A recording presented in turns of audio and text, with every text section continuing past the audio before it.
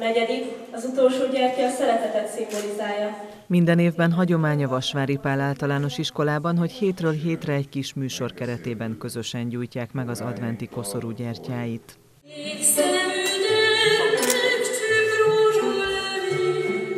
utolsó, vagyis a szeretet lángját most a nyolcadik osztályos diákok műsorát követően gyújtották meg.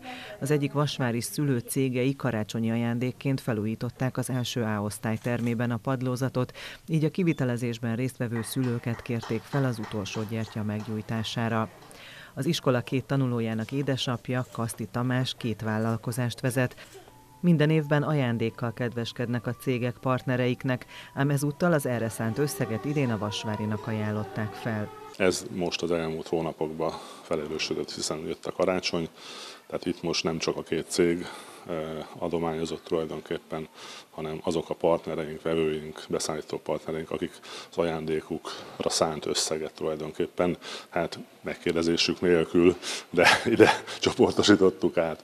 Tehát itt egy sokkal nagyobb összefogás jött létre.